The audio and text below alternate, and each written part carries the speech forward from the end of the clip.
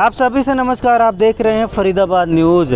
हरियाणा में भाजपा की पहली लिस्ट आ गई है। उस लिस्ट पर बातचीत कर लेते हैं जनता की क्या राय है। राम राम ताऊ। राम राम बहुत बढ़िया बात है भैया। क्या नाम है आपका? ओम प्रकाश राम है गाँव कोंडल से आया हूँ। जो सीट आई है भाजपा की जो टिकट दी गई है बढ़िया है कि नहीं मज़बूत बहुत बढ़िया है।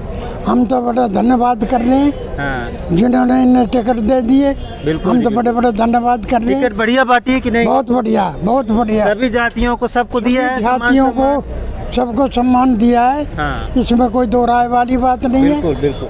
हर वर्ग के आदमी को इन्हें तवज्जो दिया है। अच्छा। कोई ऐसी बात नहीं है। हम्म। और जो इन्हें सीट मिली है बहुत बढ़िया मिली है। हम्म। आप बताइए भैया जो टिकट बांटी है ठीक बांटी है कि नहीं? भारतीय जनता पार्टी ने बहुत ही अच्छी टिकट बांटी है हाँ। और इससे हम बहुत ही खुश हैं क्योंकि सभी जातियों को मेंशन करके लेके चल रहे हैं। हाँ। जो भाजपा का दावा है, इसमें सबको साधा गया है। आठ महिलाओं को टिकट दी गई है और इसके अलावा जो चौदह टिकट हैं, पिछड़े समाज से आने वाले उम्मीदवारों को दिया गया है, जिसमें गुर्जर यादव, कश्यप, कुम्हार, कम्बोज और सैनी आदि हैं। इसके अलावा बनिया, बिश्नोई, ब्राह्मण, जाट, पंजाबी, सिख, राजपूत और अन्य समाज को भी सूची में जगह दी गई है। सत्ताईस नए चेहरे भी भाजपा ने मैदान में उतारे हैं और युवाओं को भी टिकट दी गई इस बात को आप भी मान रहे हैं? मान रहे हैं युवा को टिकट दी गई है। क्या नाम भैया? देखिए हमारा नाम मयंक सिंह है। किसकी सरकार बन रही है हरियाणा में? देखिए हरियाणा की अगर हम बात करें तो दो बार से डबल इंजन की सरकार रही है और अब की बार तीसरी बार नायब सिंह सैनी जी के नेतृत्व में काम कर रही है। जो अभी अभी टिकट आए हैं और जो कैंडिडेट थे देखिए सबसे बड़ी बात यह है कि बीजेपी में गुटबाजी नहीं है।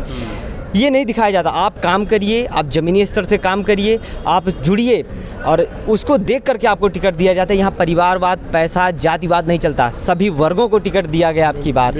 अगर ये देखा जाए कि जो है ये हुड्डा जी के करीबी है नेता तो हुड्डा जी पीठ थपथपा दिए। अब की बार आपको विधायक बनाएँगे।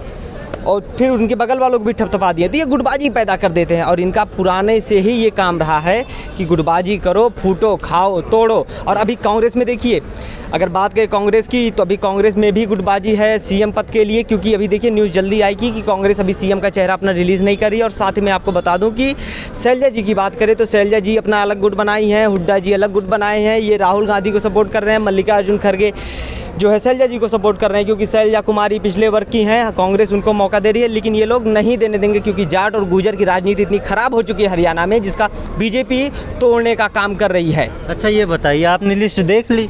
जी बिल्कुल। सेवन कैंडिडेट हैं। क्या इसमें सभी वर्गों को जगह दी गई? बिल्कुल दी गई है जगह। बिल्कुल दी गई जाट ब्राह्मण राजपूत सबको सबको। मैं कह रहा हूँ यहाँ तक के माली को कोई टिकट नहीं देता था। सैनी जी हैं ज़मीन से जुड़े इंसान हैं वो समझते वो एसी में आज तक नहीं बैठे मैं बता रहा हूँ। आप एसी में हैं हुड्डा जी एसी में बैठते हैं तो वो क्या जाने किसान कितना पसीना चुआ रहा है किसान पसीना उसका गिर रहा है। भाई अगर लिस्ट देखी जाए तो भाजपा मज़बूत दिख रही है कि नहीं है बिल्कुल दिख रही है मज़बूत क्योंकि सरकार बन जाएगी। छत्तीस बिरादरियों को लेकर चल रही है क्यों नहीं सरकार बनेगी? आप बताइए क्या ये जाट और गुजर का बन जाएँगे नायब सैनी बिल्कुल सौ परसेंट सीएम बन जाएँगे। सीएम बने हैं बन जाएँगे क्या? अच्छा जी अच्छा। जी। लिस्ट में सबको जगह दी गई हाँ? जी बिल्कुल दी गई है। सभी वर्गों को? बिल्कुल सभी वर्गों को दी गई है। अच्छा जी अच्छा। हाँ। और कांग्रेस भी लिस्ट लाएगी हाँ। हो सकता है वो भी दावा करे कि सबको हम साध रहे हैं सबको जगह दे रहे हैं। तब क्या कहेंगे आप? हो नहीं सकता ना। क्योंकि झज्जर रोहतक में इनका पुराना से जाटों का राजनीति रहा है तो कैसे ये सभी वर्गों को दे देंगे?